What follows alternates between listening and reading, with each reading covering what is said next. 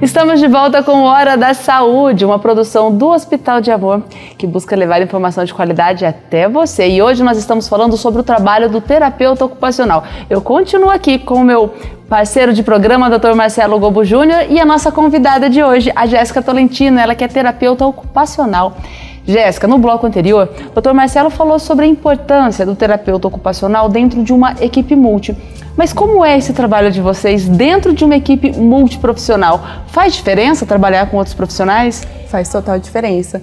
Porque quando todos os profissionais eles estão interligados com o mesmo propósito, o mesmo objetivo para o paciente, o paciente ele tem muito mais benefícios, né? Então o ganho é muito maior dentro do processo de reabilitação.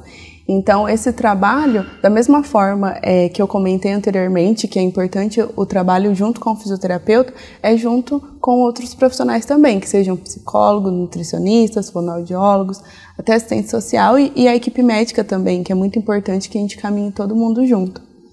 A gente também falou no bloco anterior sobre a avaliação, uhum. mas eu queria que você explicasse também o que é análise de atividade dentro do trabalho do terapeuta ocupacional e qual a importância dessa análise? Uhum.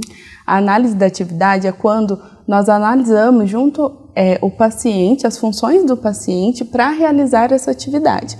Então, nós vamos analisar a atividade que o paciente ele necessita fazer, né, dentro da, do processo de reabilitação, não só as necessidades dele, é dentro das atividades que ele também quer ou que ele pretende realizar. Então, nós analisamos criteriosamente quais são as habilidades que o paciente necessita para realizar essas atividades, que sejam habilidades cognitivas, habilidades motoras, né, para que a gente possa reabilitar o paciente como um todo. Então, não seria simplesmente apenas dar a atividade para que o paciente realize. Né? Então, é precisa ter um propósito, o porquê de utilizar essa atividade. Porque quando nós, que seja um, utilizar uma atividade como, por exemplo, um artesanato dentro de uma reabilitação, é precisa ter um propósito. Porque se for a gente fazer um artesanato quando a gente estiver com tempo, ou a gente estiver ocioso, quiser minimizar, isso seria um lazer, né? Então, não que a gente não possa utilizar um artesanato como um lazer se for dentro da necessidade do paciente, mas a gente precisa que aquela atividade utilizada tenha um propósito e um objetivo para ser atingido no processo de reabilitação. Você falou, é, você falou dos artesanatos, né? Mas como são as atividades, como é o uso das atividades artísticas, das atividades culturais dentro desse trabalho do terapeuta ocupacional? Essas atividades, elas precisam primeiramente ter um significado para o paciente. Então, se o paciente ele já apresenta é um costume, né, já é um significado importante para ele realizar um artesanato, de estar num grupo realizando atividades manuais com outros pacientes. Então, nós utilizamos para facilitar o processo terapêutico. Então, nós analisamos quais são as preferências de atividades para esse paciente. Às vezes, pode ser uma atividade manual como uma pintura, como um, um crochê, né, alguma atividade manual desse sentido. Então, nós vamos analisar quais são as habilidades que o paciente necessita para realizar essa atividade, né? Então, de, seja é, funções físicas, né, para que ele consiga mobilizar, cognitivas, né, também para que ele consiga saber como começar, como terminar, como continuar essa atividade, e com isso a gente con consegue muitos ganhos para o paciente porque nisso ele está trabalhando, mesmo sem que ele perceba, vários aspectos para que melhore o processo de reabilitação. Então, nisso, ele está fortalecendo uma musculatura, ele está trabalhando o seu cognitivo, né? E além dele estar é, com, tendo uma melhor autoestima, porque quando ele consegue realizar uma atividade, principalmente uma atividade prazerosa, nisso motiva muito o paciente para o processo de reabilitação. Doutor Marcelo, o uso das atividades artísticas são de extrema importância para os pacientes em tratamento psiquiátrico? não só psiquiátrico, mas com certeza.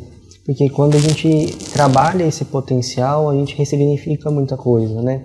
Então, quando você está usando uma habilidade como a, a, de pintar, e você às vezes tem algum, alguém que passou por um processo de perda de sensibilidade, por exemplo, e você vai usar o pincel, depois você vai utilizar a mão para poder fazer aquela, aquela mesma função artística, né? Você trabalhando a textura, a cor, o cheiro, tudo isso é estímulo e tudo isso faz parte do processo de reabilitar. E a gente tem grandes exemplos de potenciais artísticos que são descobertos e que permanecem depois é, e que surgem assim, né? Como dentro dos pacientes que a própria Nise cuidou é, lá atrás, no começo do século, a gente descobre muito, muitos artistas assim. A, a, terapia ocupacional, ela é um recurso, eu gostaria que vocês falassem mais sobre isso, para todas as idades? Sem dúvida.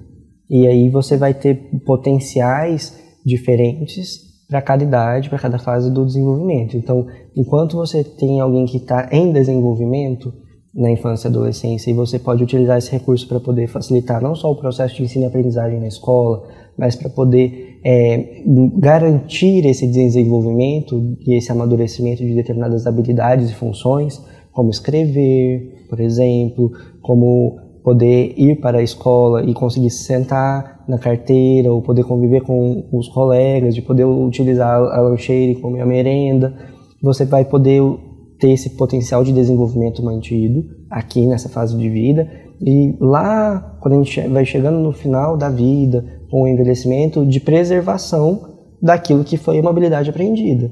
Então, em que momento da vida a gente para de tomar banho sozinho? Como que isso, como que chegou lá, né? E aí, o que, que eu posso fazer até ali para poder avaliar? Existe uma avaliação multidimensional do idoso em que a gente vai ver isso. Quais atividades da minha vida cotidiana que eu vou conseguir fazer com auxílio, é, um auxílio parcial, com uma, o uso da barra no banheiro, por exemplo, qual atividade eu vou precisar de que alguém faça junto comigo. E o que, que eu posso fazer antes que eu precise da barra ou da ajuda de alguém para poder preservar aquela função. Eu costumo dizer com os pacientes que quando eu desaprendo uma coisa nessa idade, dificilmente eu aprendo ela de volta. Então, quanto mais eu puder preservar para garantir autonomia e, e garantir que a pessoa consiga preservar aquela habilidade, mais eu o protejo durante o processo de envelhecimento. Jéssica, e como é na prática esse trabalho de vocês com as diferentes idades? Bom, na prática, é, tem terapeutas ocupacionais que optam por trabalhar ou só com a, na, fase, na fase de infância, adolescência, alguns com adultos e outros somente com idosos né? Mas na prática é totalmente diferente de um paciente para o outro. Nenhum paciente é igual. Como por exemplo com o bebê, a gente precisa realizar uma estimulação precoce para que ele tenha um desenvolvimento dentro da sua idade, né? Dentro do que é esperado para a sua idade. E aí com os adultos, os idosos, entra aquilo que o Dr. Marcelo falou. Né? Então a gente precisa, é, desde prevenir a preservar as suas funcionalidades. Então é individualizado para cada paciente. Independente da idade. Independente da idade. É, atualmente novos recursos né, estão à disposição do terapeuta ocupacional, como a terapia robótica. Eu queria que você falasse como é o trabalho do TO utilizando esse recurso. Uhum. A terapia robótica ela é encontrada em alguns lugares aqui do Brasil e aqui no hospital nós temos três recursos robóticos. Então nós temos o Locomate, que é utilizado para reabilitação de membros inferiores, que é utilizado pela fisioterapia, e nós temos os armeus, que são para membros superiores, que é utilizado na terapia ocupacional. Então, nós temos dois tipos de robôs na terapia ocupacional, que são que é o Armeu Power e o Armeu Spring. Então, essa terapia robótica é um recurso para a terapia ocupacional e ela facilita o tratamento, o processo de reabilitação.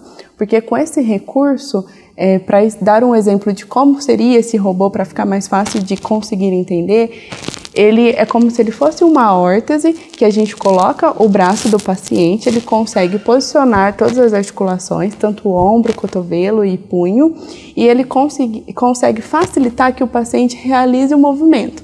Então, ele é conectado a um computador, que é por meio de jogos. Então, esses jogos o paciente precisa jogar como se fosse realmente um videogame, só que utilizando o membro superior para realizar os jogos. Então, a gente consegue é, simular movimentos necessários para as atividades do dia a dia. Então a gente consegue fazer o movimento com o braço de levantar, flexão, extensão de ombro, que é aquele movimento que a gente faz para, por exemplo, despir uma roupa, aquele movimento que a gente faz para levar o talher até a boca. Então, com o recurso robótico, a gente consegue realizar muito mais movimentos do que dentro de uma terapia ocupacional, de uma, desculpa, de uma terapia convencional, né, que é manual.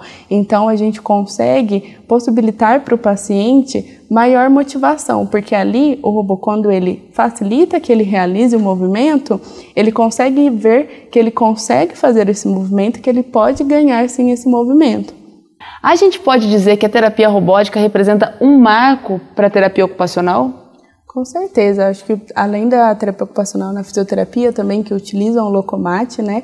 Então eu marco porque está mostrando que estão existindo mais, cada vez mais recursos melhores para a gente poder atender o paciente. Então, principalmente aqui no hospital, que a gente tem esse recurso, que é um recurso que não é barato e a gente consegue ofertar para o paciente de uma forma gratuita, né? Então, o paciente que é atendido aqui pelo SUS, ele consegue, ele recebe essa terapia como todos os pacientes que entram aqui no hospital. Então, independente de, de onde vem o paciente, independente de sua classe social, ele consegue é, ser beneficiado por esse recurso. Doutor Marcelo, Jéssica, eu queria que vocês falassem, para quem está nos assistindo agora, quando procurar ajuda de um terapeuta ocupacional? Quando ou quem pode procurar ajuda de um terapeuta ocupacional? Depende. Depende. Depende do que eu quero com, a, com essa atividade né, da terapia ocupacional. Então, talvez a gente conseguisse dividir em cenários. Então, uma questão é de reabilitar no sentido de reaprender uma função do cotidiano, como, por exemplo, tive um AVC, tive uma isquemia e perdi a capacidade de escovar o cabelo. E aí eu vou fazer um treinamento de vida diária para essa habilidade. Claro que se eu tenho essa limitação, eu vou ter talvez dificuldade para me vestir sozinho, para comer sozinho. Se eu sou, eu tenho que ver a, a minha dominância, né? Se eu sou destro, se eu sou canhoto, qual qual membro está lesado e como eu vou desenvolver essa habilidade. Esse é um cenário. Quando a gente vai pensar em saúde mental, as possibilidades são infinitas e momentos infinitos para você poder fazer esse tipo de intervenção. Então, às vezes, a gente vai dentro de um centro de reabilitação psicossocial, dentro do, do CAPS, e aí a gente está lá vendo um grupo em que as pessoas estão fazendo tapete. Aí você fala assim, nossa, mas tá fazendo tapete, o que, que é isso, né? E aí você vai entender que às vezes naquela dinâmica você está reabilitando muitas funções que o adoecimento tira, como principalmente a capacidade de conviver em grupo, por exemplo, ou a capacidade de você utilizar os recursos que você tem ao seu alcance para poder produzir, né? Ou você às vezes tem uma limitação que é social, a pessoa não tem renda e ela vai utilizar a intervenção artística para poder ter renda, né? Então eu aprendi a fazer um tapete, eu consigo ter autonomia e que o local, o paciente que tem um adoecimento psiquiátrico fica na sociedade e o que que essa intervenção faz com que ele possa ocupar um papel diferente um papel social diferente. E isso o reabilita não no sentido de eu vou ficar isento de doença, isento de sintomas, mas apesar dos meus sintomas, e isso é reabilitação, apesar das limitações, das desabilidades que possuo, eu tenho uma vida plena, tenho uma vida em que eu posso desenvolver o meu maior potencial. E o nosso papel enquanto profissional de saúde e do terapeuta ocupacional mais do que ninguém é intermediar esse processo. Esse é o Hora da Saúde e nós estamos falando sobre o trabalho do terapeuta ocupacional. Eu continuo aqui com o Dr. Marcelo Gobo Júnior, continuo aqui com a Jéssica Tolentino, ela que é terapeuta ocupacional do Hospital de Amor. Daqui a pouquinho nós voltamos.